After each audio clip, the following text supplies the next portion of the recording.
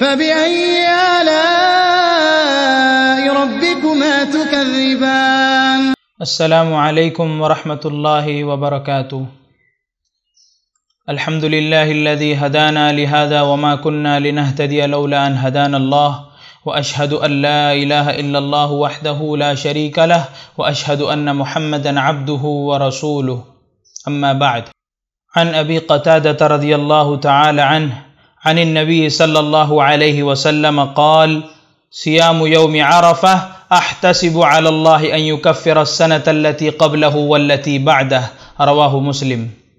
محترم ناظرین اکرام، ابھی ہم عشر ذی الحجہ کے ان مبارک ایام سے گزر رہے ہیں۔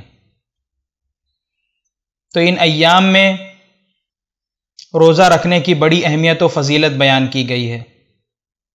اللہ کے رسول صلی اللہ علیہ وسلم بھی ان ایام میں روزوں کا اہتمام کیا کرتے تھے۔ روزہ یہ اللہ رب العالمین کے محبوب اعمال میں سے ایک عمل ہے۔ جس پر اللہ رب العالمین نے بے شمار اجر و ثواب دینے کا وعدہ کیا ہے۔ اور روزے کے متعلق اللہ رب العالمین نے فرمایا، فَإِنَّهُ لِي وَأَنَا أَجْزِي بِهِ، کہ روزہ یہ میرے لیے ہے اور اس کا بدلہ میں ہی دینے والا ہوں۔ تو اس پر انسان کو بے شمار اجر و ثواب سے اللہ رب العالمین اپنی شان کے مطابق جتنا چاہتا ہے اتنا نوازتا ہے۔ آئیے ایک حدیث بیان کروں۔ اس حدیث سے آپ اندازہ لگائیے۔ اللہ کے رسول صلی اللہ علیہ وسلم نے فرمایا ما من عبد يصوم يوما في سبيل الله الا باعد الله بذلك اليوم وجهه عن النار 70 خريفا کہ جو شخص اللہ رب العالمین کے لیے ایک روزہ رکھتا ہے، ایک روزہ اللہ رب العالمین کے لیے صرف ایک دن کا روزہ رکھتا ہے ما من عبد يصوم يوما في سبيل الله الا باعد الله بذلك اليوم وجهه عن النار 70 خريفا تو اللہ رب العالمین اس کا فائدہ دیکھیے، ایک دن کا صرف روزہ رکھنے کا فائدہ۔ اللہ کے رسول صلی اللہ علیہ وسلم نے فرمایا کہ اللہ رب العالمین اس روزہ رکھنے کے بدلے میں اس کے چہرے کو جہنم جہنم سے ستر سال کی مسافت کے برابر دور کر دیتا ہے۔ یہ میرے بھائیوں نفلی روزہ رکھنے کا فائدہ ہے۔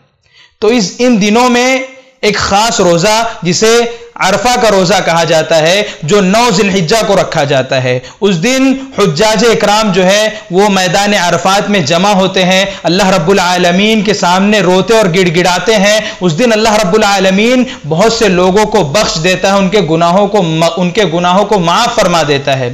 تو وہاں پر جو لوگ موجود ہوتے ہیں، ان کے لیے یہ روزہ رکھنا درست نہیں ہے۔ لیکن ان کے علاوہ بقیہ جو لوگ ہیں، ان کے لیے یہ روزہ رکھنا جائز ہے، بلکہ بہت بڑا فضیلت والا عمل ہے۔ ہم تمام لوگوں کو اس کا اہتمام کرنا چاہیے۔ آئیے اس تعلق سے ایک حدیث بیان کروں۔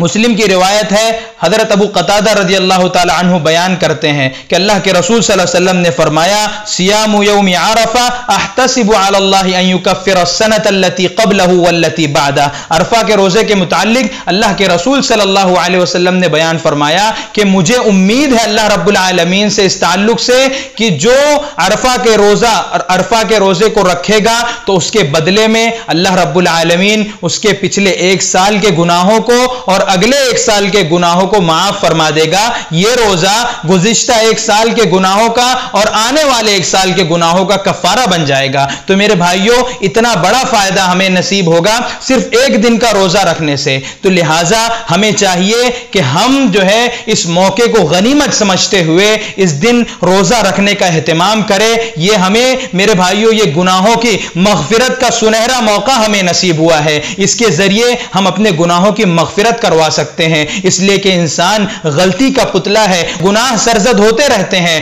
تو ہمیں چاہیے کہ ہم شب و روز میں ہم سے چھوٹے موٹے گناہ سرزد ہوتے رہتے ہیں۔ تو اس کے ذریعے ہمارے جو گناہ صغیرہ ہیں، جو چھوٹے گناہ ہیں، اس کے ذریعے اللہ رب العالمین ان کو بخش دے گا، ان کو معاف فرما دے گا۔ ورنہ جو کبائر ہیں، اس کے لیے ہمیں اللہ رب العالمین کی طرف رجوع کرنا ہوگا۔ اللہ رب العالمین سے توبہ کرنا ہوگا۔ تو میرے بھائیوں ہمیں جو یہ سنہرا موقع میسر ہوا ہے نصیب نصیب ہوا ہے گناہوں کی مغفرت کا، تو ہمیں چاہیے کہ ہم اس موقع سے فائدہ اٹھائیں۔ اور صرف ایک دن کے روزے کی بات ہے میرے بھائیوں اس کا اہتمام کرے۔ یہ روزہ نو ذی الحجہ کے دن رکھا جاتا ہے۔ اسے عرفہ کا روزہ کہا جاتا ہے۔ میں اللہ رب العالمین سے دعا کروں گا کہ اللہ رب العالمین ہم تمام لوگوں کو اس روزہ، اس روزے کو رکھنے کی توفیق دے۔ اس لیے کہ تیرے توفیق کے بغیر کوئی بھی کام نہیں ہو سکتا۔ تو ہم کو اس روزے کو رکھنے کی توفیق دے۔ اور اس کے ذریعے جو تو نے وعدہ کیا ہے گناہوں کے مغفرت کا، تو اللہ رب العالمین تو ہمارے ایک سال پچھلے اور ایک سال اگلے سالوں کے گناہوں کو تو معاف فرما دے۔